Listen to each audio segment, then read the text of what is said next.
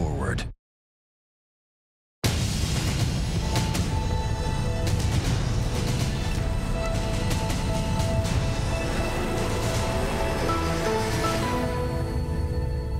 Members of Congress, in the House anyway, were removing their congressional pins so they wouldn't be identified by the mob as they tried to escape the violence. Our new chaplain got up and said a prayer for us, and we were told to put our gas masks on.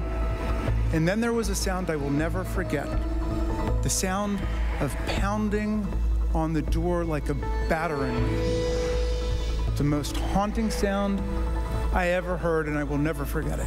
House impeachment manager Jamie Raskin today retelling his account of the Capitol attack, how he was there with his family the day after they buried Raskin's 25 year old son.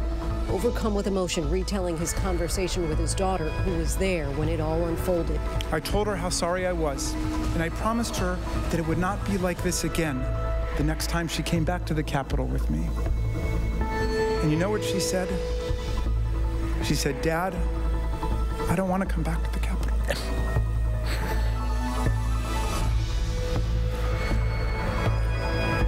of all the terrible, brutal things I saw and I heard on that day. And since then, that one hit me the hardest. An unprecedented second impeachment trial casting its shadow over a divided Washington tonight. Both sides arguing if the other side wins, it would set a dangerous precedent. If you missed any of the trial today, we have you covered tonight. The former president facing a trial in the Senate, but it doesn't appear to be ending there.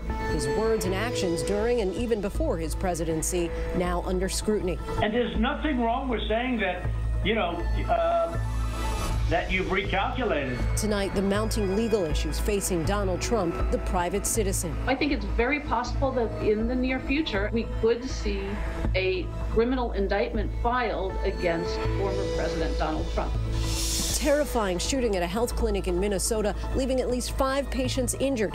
Improvised explosives were also involved in the attack as we learn more about the alleged gunman. The race to vaccinate tens of millions of Americans. One million doses sent to thousands of major pharmacy locations across the country. One company's website crashing today from so many trying to schedule appointments. And the Biden administration revealing new distribution plans, including FEMA mobile units searching for the source. How did the coronavirus begin infecting humans? Retracing its steps in China as scientists address a conspiracy theory that the virus escaped from a lab where it was being developed. And the difficult balance between health and education. Parents and children, some of whom have been out of a classroom now for more than a year, are worried that students are getting left behind. So teachers and unions argue it's simply not safe. Threats of lawsuits, finger pointing, and speech making won't help. Let's roll up our sleeves and get to work. Good evening, everyone. I'm Linsey Davis. Thanks so much for streaming with us. An unprecedented second impeachment trial now underway. And the question debated for hours today is this trial constitutional? Both sides went back to the intentions and the language of a document ratified into law 234 years ago, the bedrock of our democracy, the Constitution. One senator calling it the most consequential vote of his career. One of Trump's attorneys calling the trial an affront to the Constitution, a tool to disenfranchise and pure raw misguided partisanship. While the House impeachment managers argue there is no January exception, saying the correct interpretation of the Constitution is that impeachment includes former officials and that there is precedent to support that.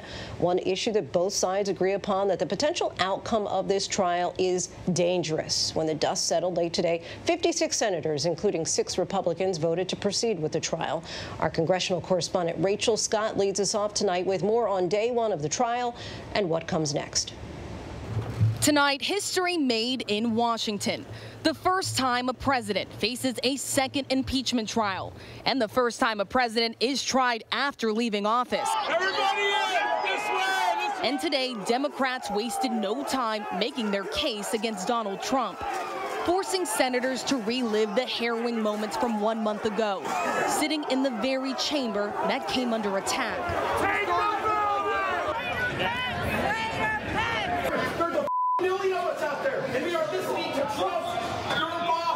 House House impeachment managers playing a graphic 13 minute video reminding senators what the president told his supporters right before the Capitol siege. We fight. We fight like hell. And if you don't fight like hell, you're not going to have a country anymore. Trying to link Trump's own words and the weeks and hours before the deadly riots to the chaos that then played out in the Capitol. Senators watching in rapt silence. You ask what a high crime and misdemeanor is under our Constitution? That's a high crime and misdemeanor. If that's not an impeachable offense, then there is no such thing. Lead prosecutor Representative Jamie Raskin growing emotional.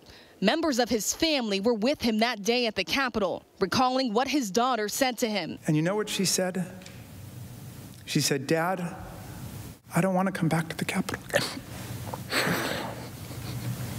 Democrats argue the Constitution is on their side and say even though Trump is no longer the president, he should still be held accountable for his actions in the final weeks of his presidency. Asking if they don't hold him accountable, what could future presidents do in their final weeks? Insisting in their words, there should be no January exception. What you experienced that day, what we experienced that day, what our country experienced that day is the framers' worst nightmare come to life. Presidents can't inflame insurrection in their final weeks and then walk away like nothing happened. Then the former president's team.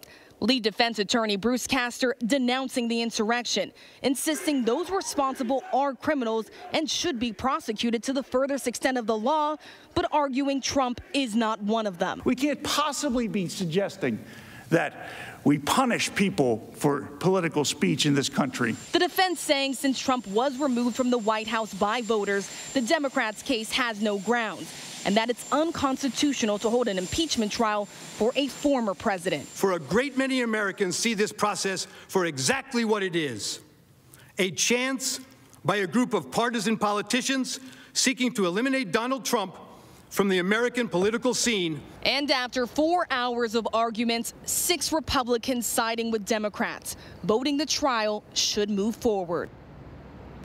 Rachel Scott joins us now. Rachel, it's still an uphill battle, though, for Democrats trying to get those 17 Republican votes that they need. But uh, just give us a sense of how today's arguments played on both sides of the aisle.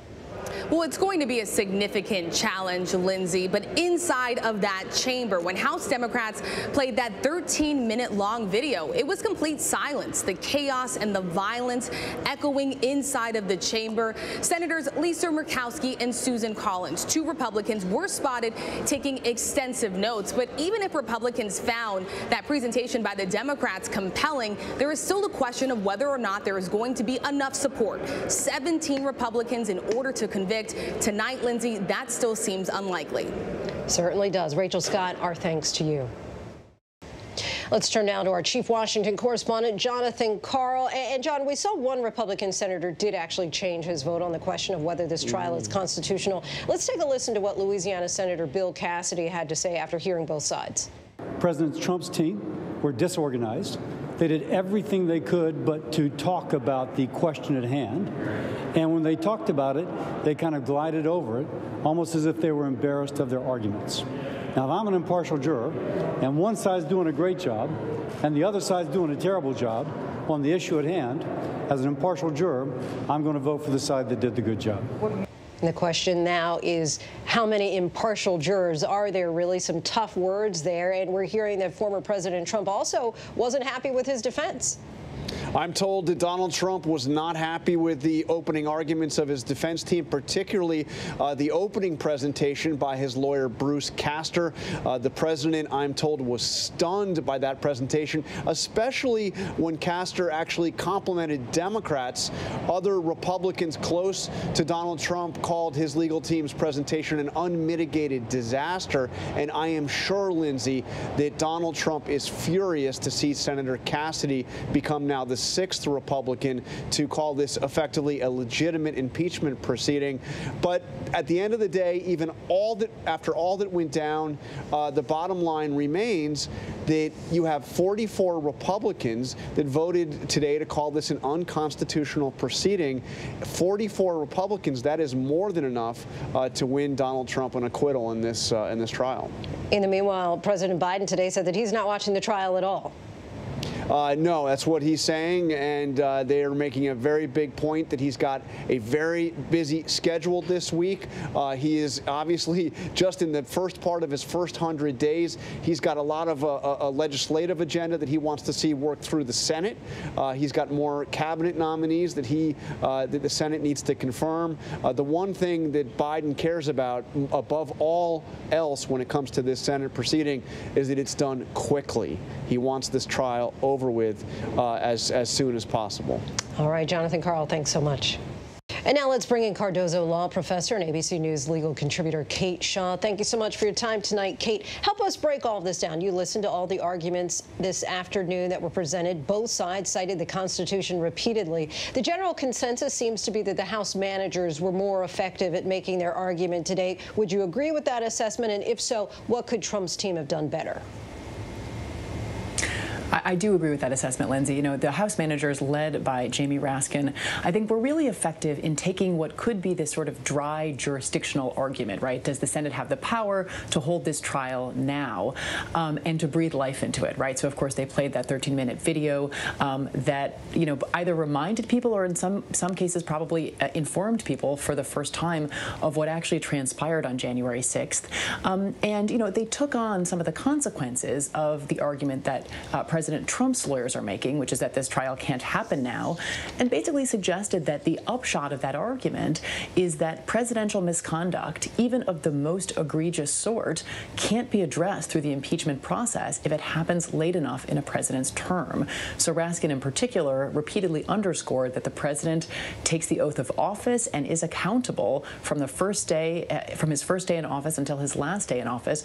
And he repeatedly uh, reminded listeners that there's no January exception uh, from the oath of office. So I, I, did think that he very effectively, you know, used the kind of Constitution, but also talked about the stakes and about accountability.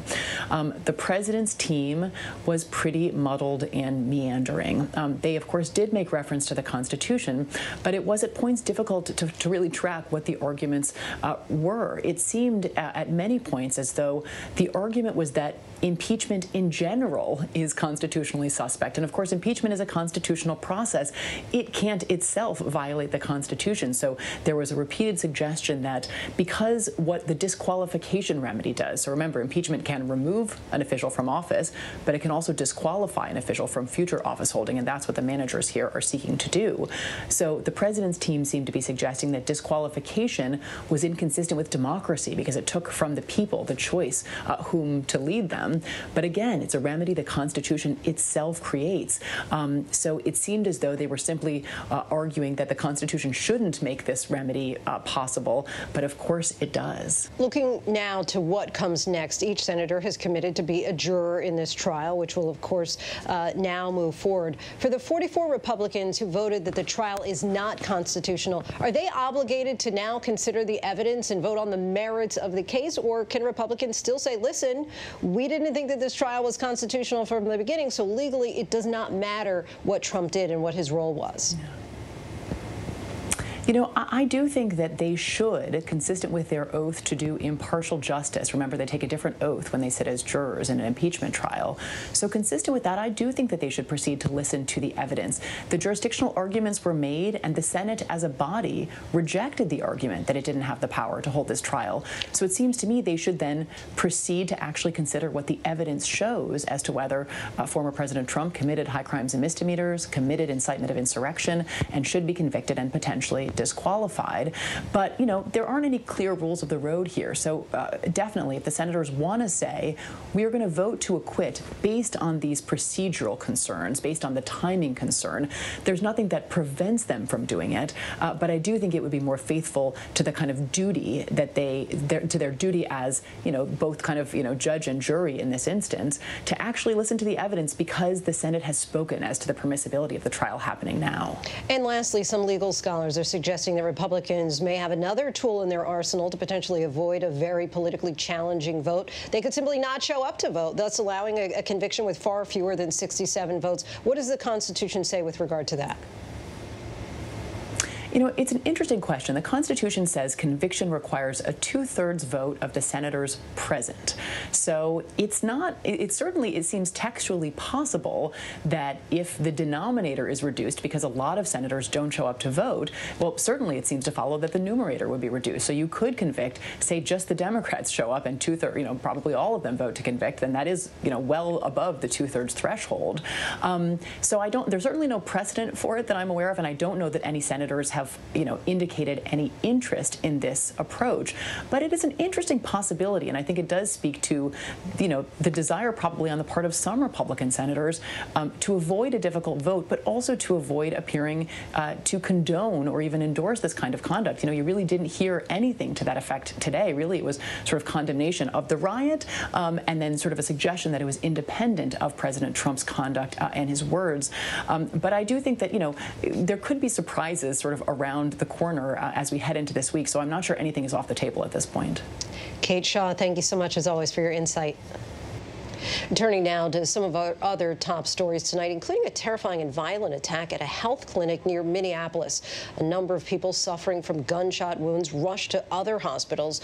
Authorities found a suspicious package at the location of the shooting and are now searching for a motive. Our Alex Perez has the very latest.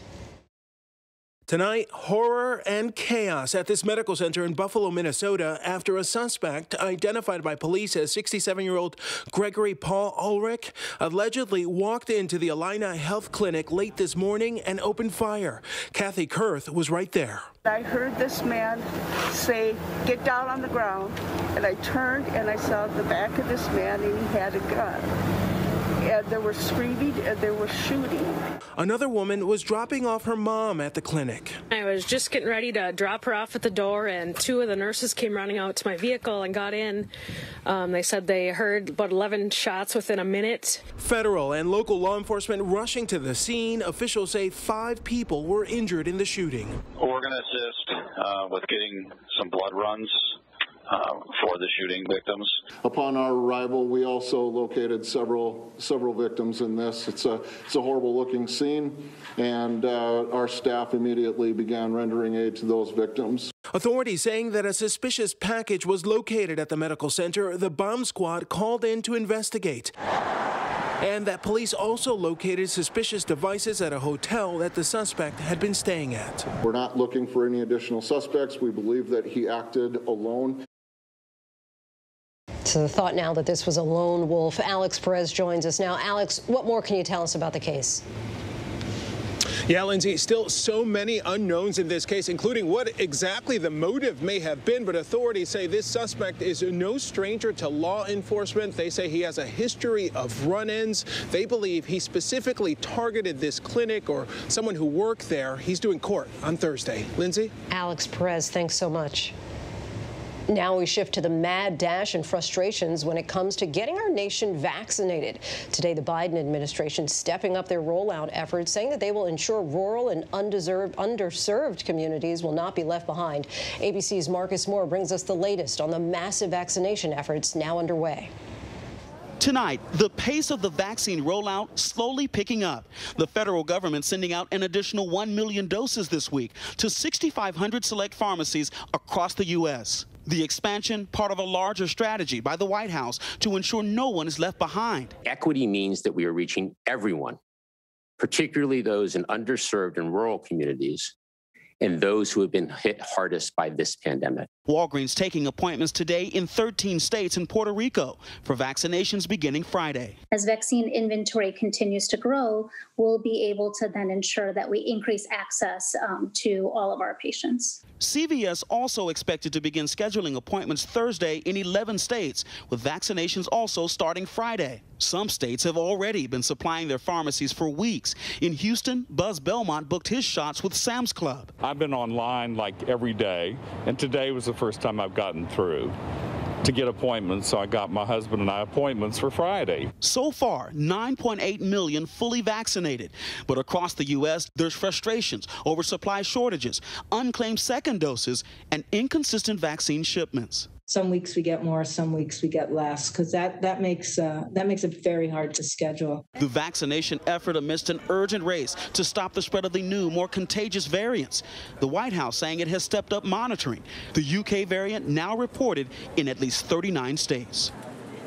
Certainly a race against time as that UK variant continues to spread so rapidly. Marcus joins us now. Marcus, where does the White House stand in terms of its initial goal to distribute 100 million doses in those first 100 days? Linsey, the Biden administration says it will begin sending vaccine supplies uh, directly to community health centers starting next week. Uh, phase one will focus on 250 of those centers with 1 million doses to be uh, uh, to be delivered or administered. And then separately, FEMA says it is planning to send mobile units directly to communities that have been hardest hit. Linsey. Marcus Moore, our thanks to you.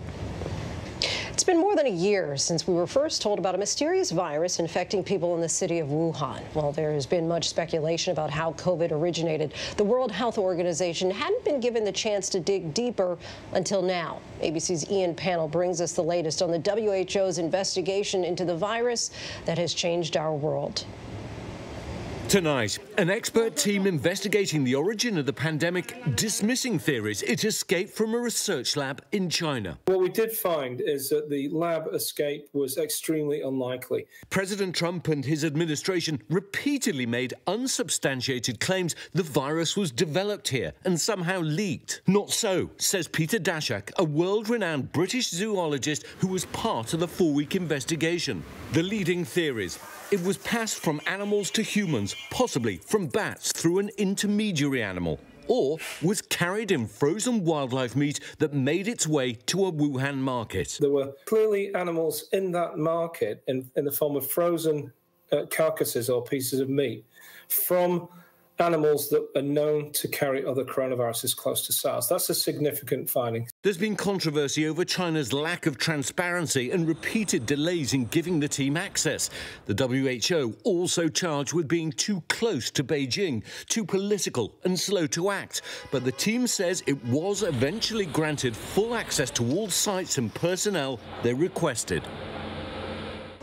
Ian Pannell joins us now. And Ian, the WHO mentions frozen meat as a possible source. Any idea where that meat was brought to the market from? Yeah, first of all, I think it's important to say that it is just one of the theories, but it's certainly one of the key theories. This had been discussed earlier, but didn't seem to acquire much momentum, and then I think it took a number of people by surprise that it was mentioned today. The particular frozen meat they were talking about comes from Southeast Asia, so from countries like Vietnam and Laos, but also parts of China, and with a focus particularly on wild meat like this animal called a ferret badger, which is farmed for food in parts of Southeast Asia. It's slaughtered, it's frozen, and then it's sent to markets like the one in Wuhan. It's also a known carrier of coronavirus, and the theory is that that could have been a way, not that it originated inside that animal, but that it transported the virus to people who then ate it inside China. That's one of the active theories at the moment, and they said very clearly that more investigation now needs to take place inside China and also elsewhere in Southeast Asia. Linsey? More than one year later, still trying to track down that source. Ian Pannell, our thanks to you. And when we come back, the dramatic rescue. Three people stranded on an uninhabited island in the Bahamas for 33 days. With concerns about those COVID variants growing, the new warning about counterfeit masks as people try to protect themselves. But up next, the impeachment is not the end for former President Trump's legal troubles. Our in depth look at the other investigations now swirling around him. With so much at stake, so much on the line, more Americans turn here than any other newscast. ABC News World News Tonight with David Muir. We have made it through another week together. America's number one most watched newscast across all of television. Robin Roberts, George Stephanopoulos, Michael Strahan. Wake up with America's number one most watched morning show. ABC's Good Morning America. He conned his way through love. He was a rock star surgeon. That George Clooney type of feel sexy. And the wedding of a lifetime. Andrea Bocelli was going to be singing. The guest list just kept growing. The icing on the cake was the Pope was going to marry them. Are you kidding? but when he put lives at risk, the con is up. The doctor should be jailed for what he did. If we don't do anything, a lot of people will die. Now, as this doctor faces criminal charges, the 2020 event, Friday night on ABC. The world may feel out of your control, but your happiness doesn't have to be. Learn the secrets to happiness. Listen to the 10% Happier podcast, free on Apple Podcasts. ABC News honored winner for the second straight year with the Edward R. Murrow Award for overall excellence in television. ABC News, America's number one news source. The reality is our country can collapse from within. You see the white power movement on the march. Klansmen and neo-Nazis, skinheads, it's meant to incite war. From the KKK to Oklahoma City to Charlottesville, the new documentary event special. We just need to start talking about race. Homegrown hate, the war among us. This is a real wake-up call. Streaming now on ABC News Live. 24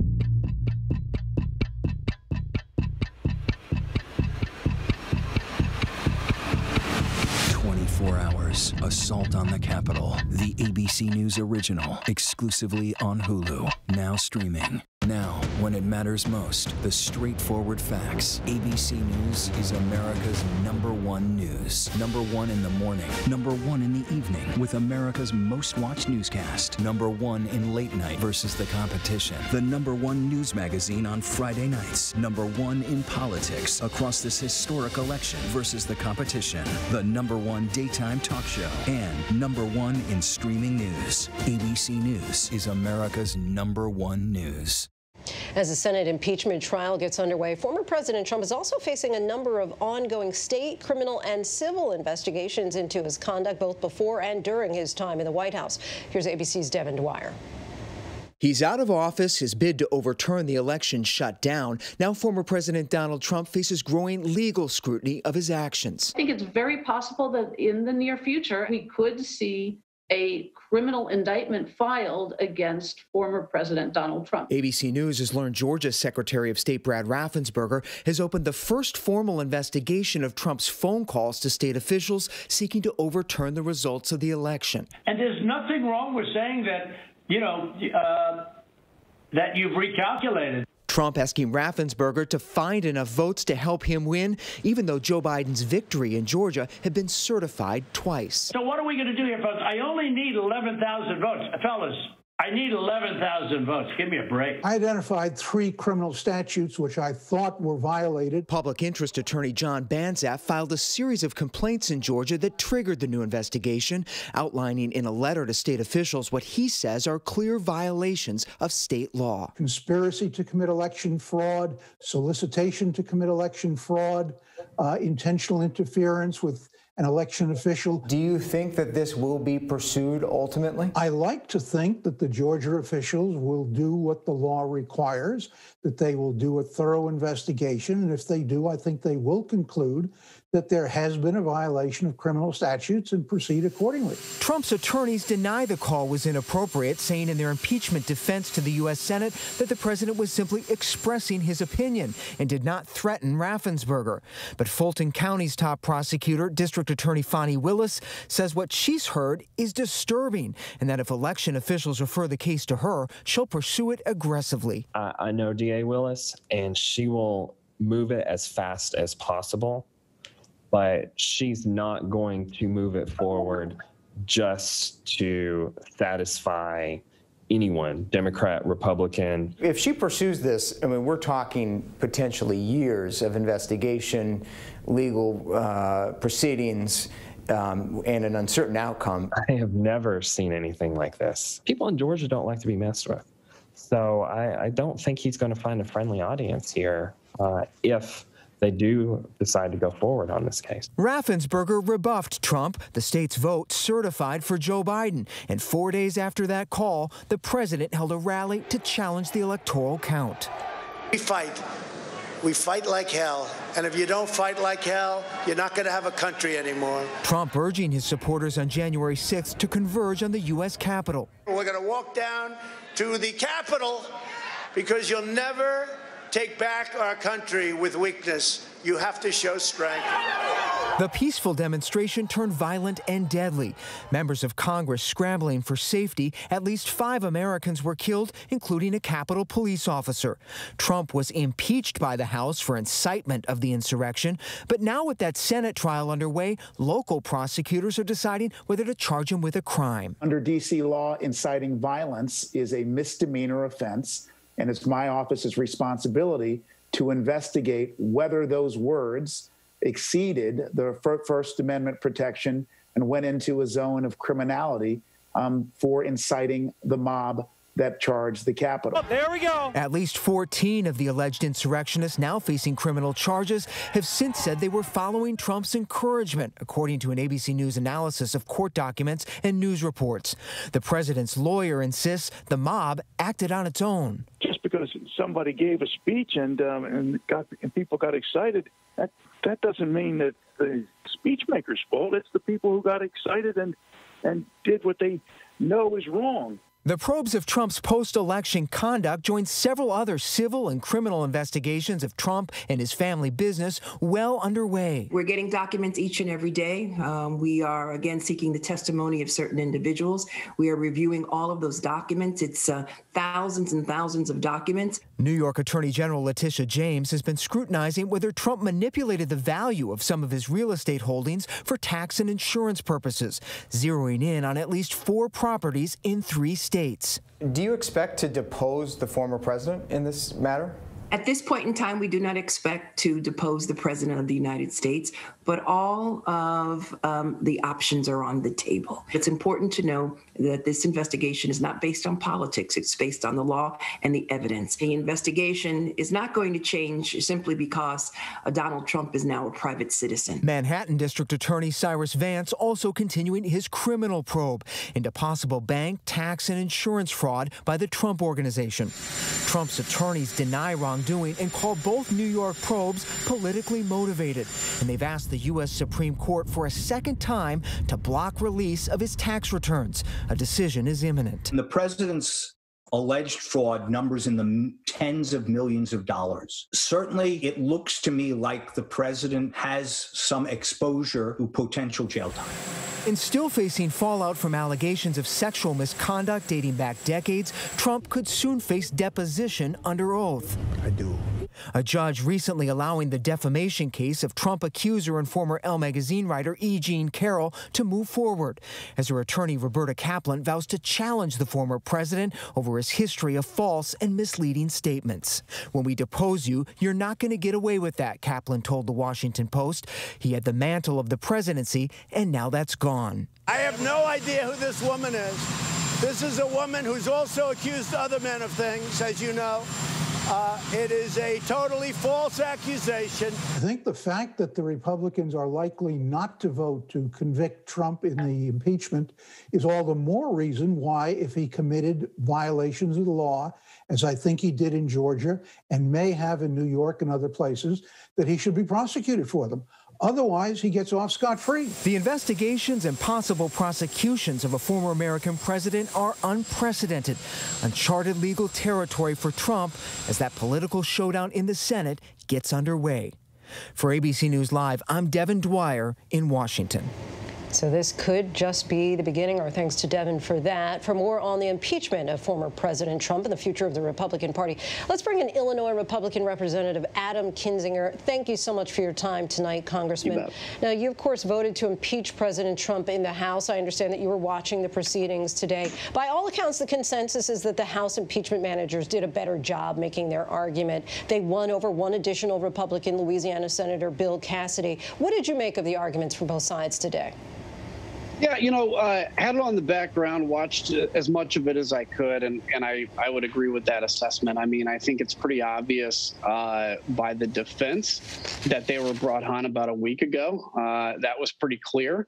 Uh, and I think from the prosecution side of things, they did their homework. I think the video at the beginning was very impactful. And, and it's important to see because I think over the last month, we've lost the rawness of what happened and we've allowed, you know, whataboutism and, and false equivalence to, to cloud our judgment. But seeing that firsthand with some of the things people were saying, you couldn't at least deny that people were there for what they thought was Trump's marching orders. But you know, obviously there's going to be debate over whether he bears blame.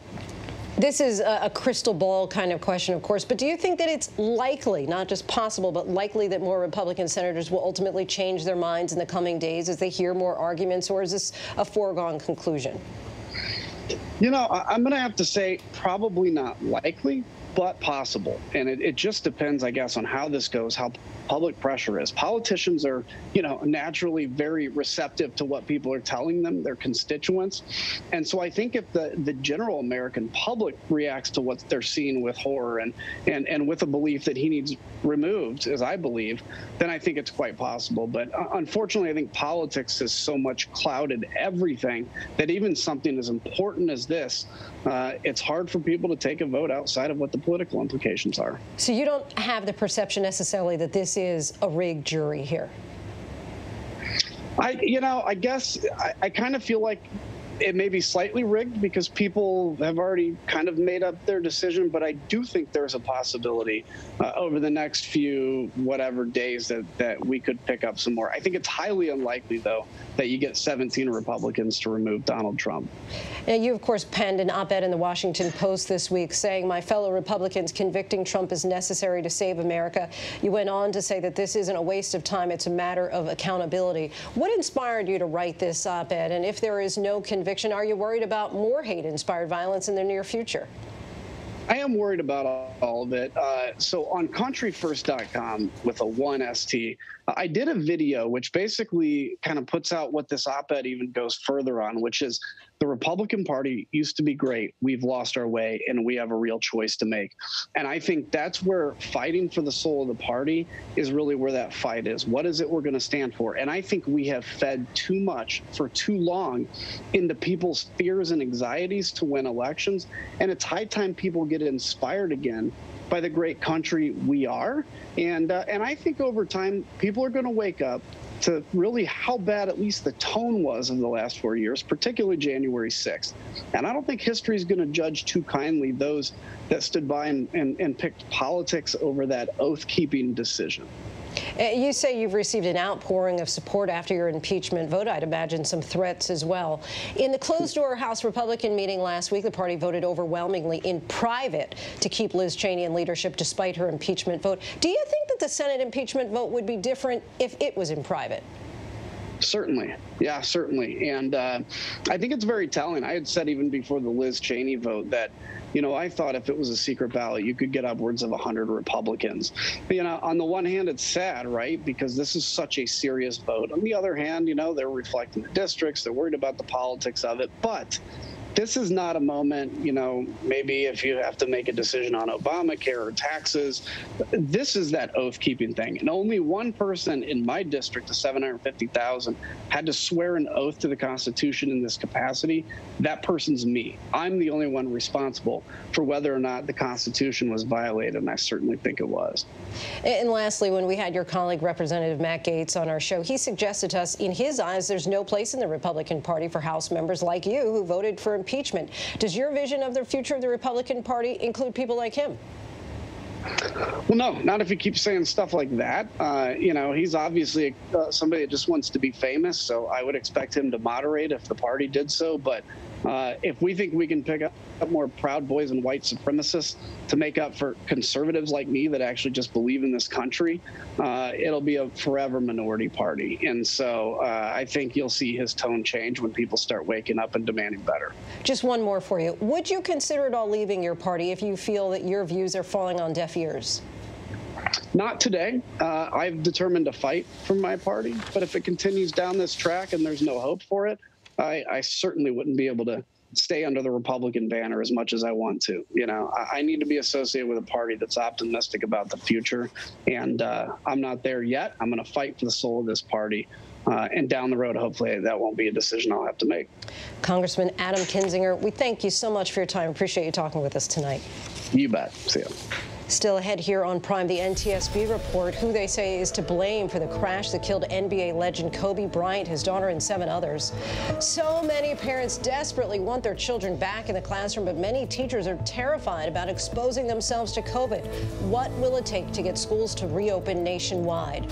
And the call being made by grocery workers for hazard pay or for all states to put them in the front of the line for vaccinations as so many continue to catch COVID. We take a look by the numbers. But first, our tweet of the day.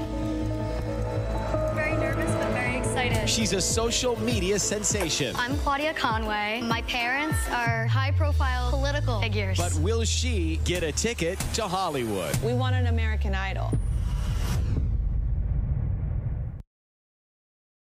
I know what happened, and I'm not guilty. Why the fascination with criminal trials? Figure out what's really out there. She revealed she had murdered his family. I know in my heart they did this. It's the time of suspicion. The ending's really tough. You don't know whether truth is going to be difficult to find unless you try to find it.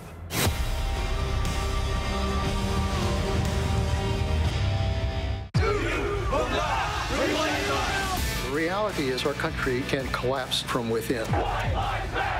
You see the white power movement on the march. Klansmen and neo Nazis, skinheads, it's meant to incite war. From the KKK to Oklahoma City to Charlottesville, the new documentary event special. We just need to start talking about race. Homegrown hate, the war among us. This is a real wake up call. Streaming now on ABC News Live. 24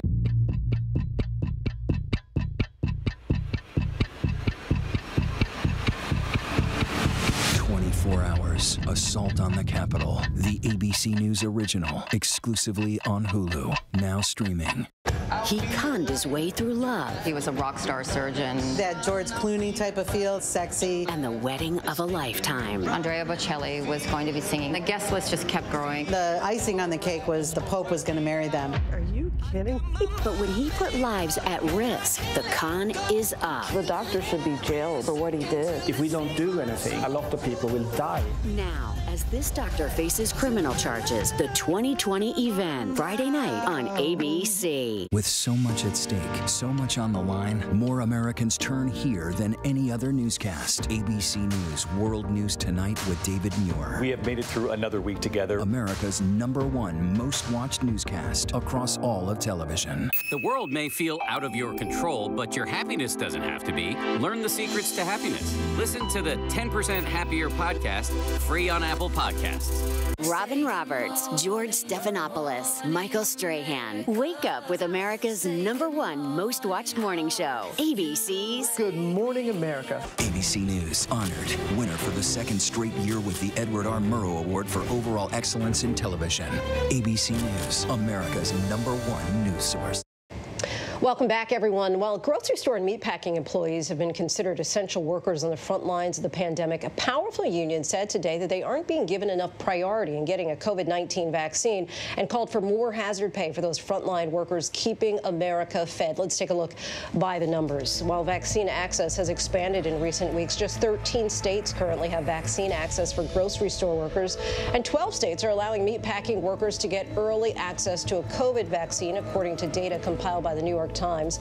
The United Food and Commercial Workers Union, which represents 1.3 million workers nationwide, argued that grocery store, meatpacking, and other food service workers are still feeling the stress and fear of contracting the virus at work and should be given priority and the risks are certainly very real. According to the union, more than 30,000 grocery store workers have been infected or exposed to COVID-19, and 137 have died during the pandemic. At least 282 meatpacking workers have died from COVID since the pandemic began, according to data from the Food and Environment Reporting Network. The union is also pushing grocery store chains to bring back hazard pay, as many had early on in the pandemic.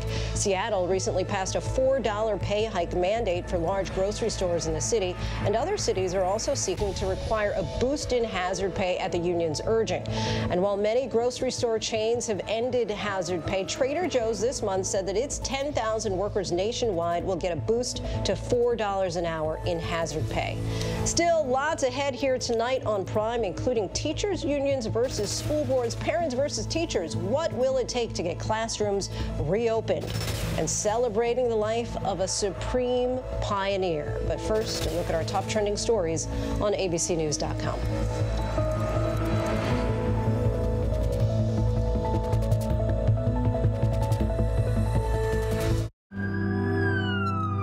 We will guide you through it all tonight. Made it through another week together. Big, big hug, We tell all our patients how much they're loved. We hold their hands. David, we're showing our love and support for all the ICU staff. They're the heroes in this.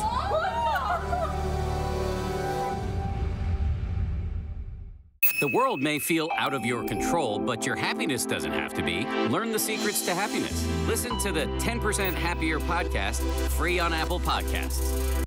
He conned his way through love. He was a rock star surgeon. That George Clooney type of feel, sexy. And the wedding of a lifetime. Andrea Bocelli was going to be singing. The guest list just kept growing. The icing on the cake was the Pope was going to marry them.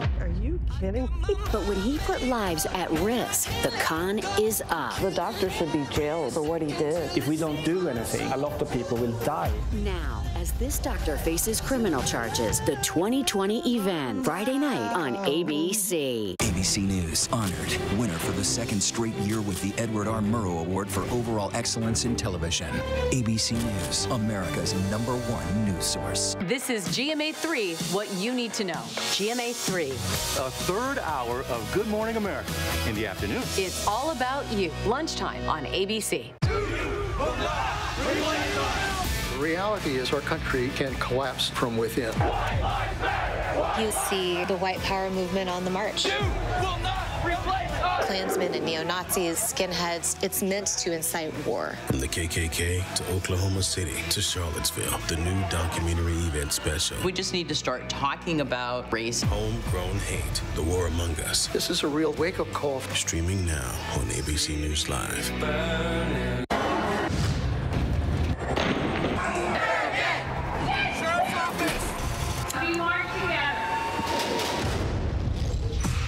Most powerful stories of our time, anytime. Nightline.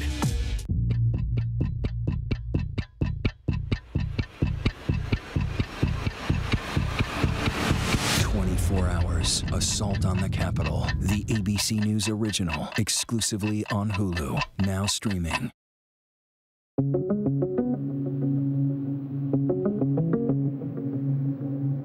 Congressional Democrats kicking off the first day of Donald Trump's second impeachment trial for incitement of insurrection, showing the timeline of how Trump fed a mob of his supporters lies about the 2020 presidential election being stolen. Fight like hell. And if you don't fight like hell, you're not going to have a country anymore. Motivated them and sent them towards the Capitol to fight. Senators, this cannot be our future.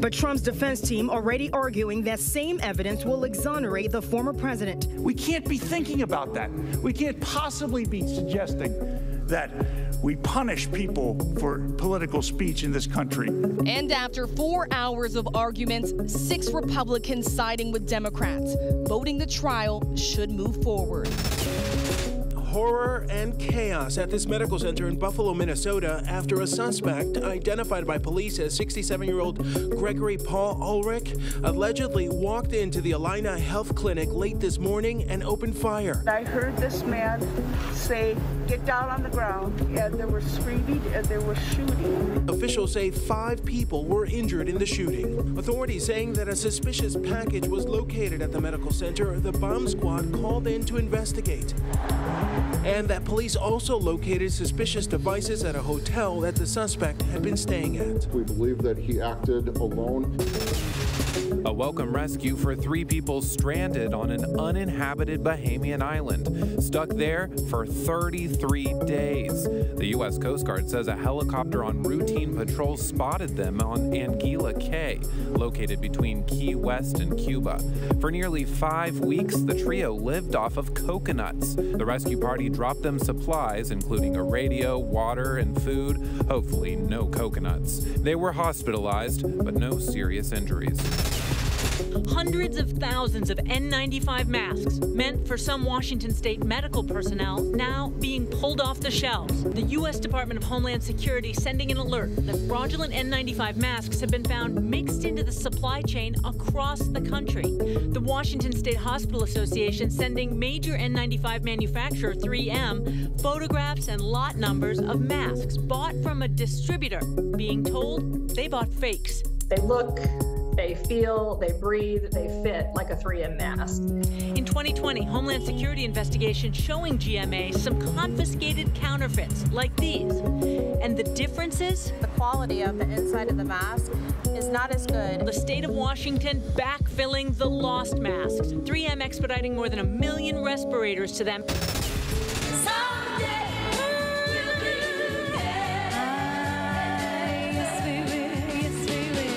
Voice helped define what it meant to be Motown, and now we are saying goodbye to one of the co founders of the Supremes.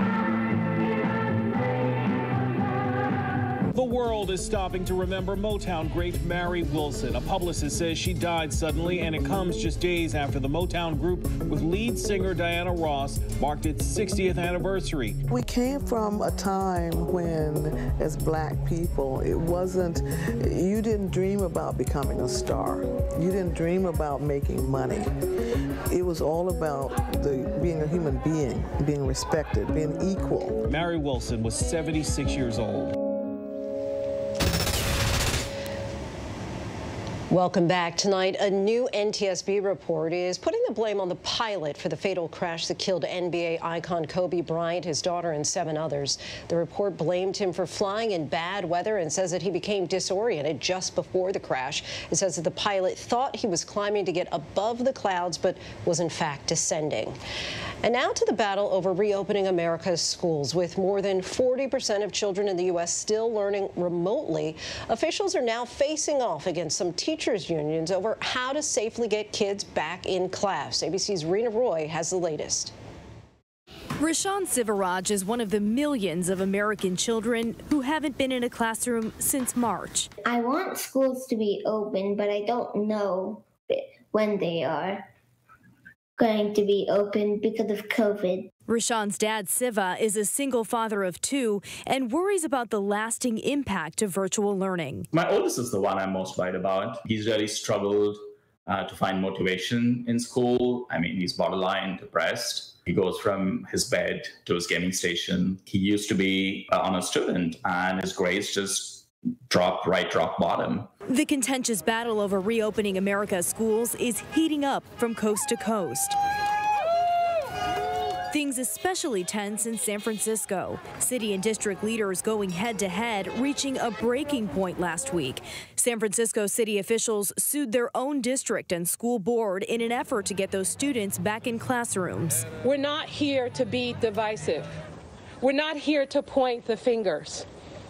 We're here to ask you, to beg you, to work with us, to continue to work with us, and get our schools open. Teachers' unions and district officials on Sunday coming to a compromise in a tentative agreement to resume in person learning, something many parents and students have been calling for. Thank you for being here. Please maintain social distance. Meredith Willa Dodson is the co founder of Decreasing the Distance, a parent collective that's been working since summertime to see schools reopen. She helped organize this march over the weekend. It's been clear that as we're, we're approaching quickly a year into the pandemic, with these kids learning from home for that whole time, um, and we're seeing real impacts. Kevin Robinson agreeing, saying remote learning is just not working for his son. Of a seven-hour day, he's doing about seven, about one hour worth of, of learning. I mean, this is San Francisco. It's February, and it's beautiful out here. We could have had outdoor schooling since day one. That's not rocket science. But teachers we spoke with say it's not so simple. We want to feel supported by the city, not attacked by the city. We're being asked to put ourselves on the line as frontline workers, but aren't being prioritized in the vaccination rollout in the way that many people think we should be. About half of states are now giving vaccine priority to some or all teachers. The new agreement in San Francisco will allow classrooms to open when the city drops to red tier COVID levels, the second most restrictive level of California's reopening blueprint, if on site staff are given access to COVID 19 shots. And if the city progresses to the orange tier with moderate virus spread, staff have agreed to go back without vaccinations. Right now, San Francisco is still in the purple tier, the most restrictive restrictive. In San Francisco is the infrastructure. School buildings here are old. They don't have proper ventilation. There needs to be um, adequate supplies to keep everybody clean and safe at school. California has been hit hard during the pandemic. A large number of its 6 million public school children have not been in a classroom since March of last year. Nationwide, more than 117,000 new COVID 19 cases were reported in children last week alone. In total, nearly 3 million American kids have been diagnosed since the pandemic began. But the CDC says opening schools can be safe with proper precautions. The data from schools suggests that there's very little transmission that is happening within the schools, especially when there's masking and distancing occurring. I'm not less worried because we have data, we have more examples of how other districts are opening safely. ABC News contributor Dr. John Brownstein of Boston Children's Hospital says it's also important to consider the mental and emotional impact of virtual learning. What impact does virtual learning have on the mental well-being of children and, and their development? Yeah, I think especially as you look at uh, children in, in, the early earlier grades, they're mostly the ones that are impacted by this virtual learning. Uh, they are not getting the same type of attention and care that they would do in an in-person environment. 11-year-old Iris Martinez and 10-year-old Alondra Margarito tell us they're struggling with learning online. I don't learn that much and I get distracted easily by my background noise and since I don't have that much space in my house sometimes it's difficult to understand the teacher if like my internet is not working that much. The Stanford Center for Research on Education Outcomes estimates the average American student has already lost half a year of learning and reading and over a full year of learning in math since the pandemic began. And we're seeing clashes over school openings across the country. Teachers in Chicago threatened to strike over COVID concerns. Sunday, they reached a tentative agreement with the city to start bringing some students back this week. Fears and frustrations have been heard. In Philadelphia, educators have protested to demand safer working conditions. We're asking that everybody come back to school in a safe school. On Monday, the city announced a joint effort with the Children's Hospital of Philadelphia to vaccinate teachers. Los Angeles also has no clear path to reopening. City Council member Joe Buscaino threatening to sue the LA Unified School District, the second largest public school system in the U.S. Threats of lawsuits, finger pointing, and speech making won't help. Let's roll up our sleeves and get to work. And back in San Francisco, it's still unclear when the first students will be in classrooms once again. That tentative agreement between the teachers unions and the district still needs to be ratified, which is expected next week. Linsey? Stalemate continues in so many areas across the country, our thanks to you, Reena. And when we come back, if you have not seen this, prepare for a chuckle. The court hearing and the Zoom cat filter.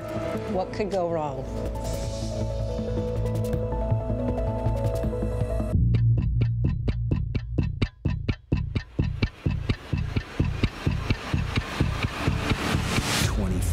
24. Assault on the Capitol. The ABC News original. Exclusively on Hulu. Now streaming. Friday nights, 9, 8 central. True crime. Cinematic. Real life drama. Stunning. The unthinkable. Follow the clues. The Hunt. True crime. 2020. Friday nights, 9, 8 central on ABC. He conned his way through love. He was a rock star surgeon. That George Clooney type of feel, sexy. And the wedding of a lifetime. Andrea Bocelli was going to be singing. The guest list just kept growing. The icing on the cake was the Pope was going to marry them. Are you kidding? But when he put lives at risk, the con is up. The doctor should be jailed for what he did. If we don't do anything, a lot of people will die. Now, as this doctor faces criminal charges, the 2020 event, Friday night on ABC. The reality is our country can collapse from within. You see the white power movement on the march. Klansmen and neo-Nazis, skinheads, it's meant to incite war. From the KKK to Oklahoma City to Charlottesville, the new documentary event special. We just need to start talking about race. Homegrown hate, the war among us. This is a real wake-up call. Streaming now on ABC News Live.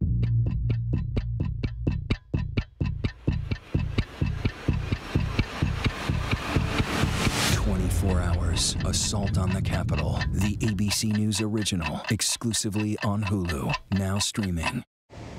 Finally tonight, after a day of hearing from lawyers in Washington, here's an attorney in Brewster County, Texas, attempting to appear at a virtual hearing, but having a bit of a technical difficulty. Mr. Ponton, I believe you have a filter turned on in the video settings. Uh, you might want to. Uh, Uh, take- take a we're look. trying to, we're, tr- can you hear me, Judge? I can hear you. I think it's a filter. It, in the- it is, and I don't know how to remove it. I've got my assistant here. She's trying to, but uh, I'm prepared to go forward with it. Uh, That's, I'm here live. It's not, I'm not a cat. I am not a cat. That video has since gone viral, but the lawyer is taking it all in stride, saying in an interview, stuff happens. That is our show for this hour. Be sure to stay tuned to ABC News Live for more context and analysis of the day's top stories. I'm Linsey Davis. Thanks so much for streaming with us. Have a great night.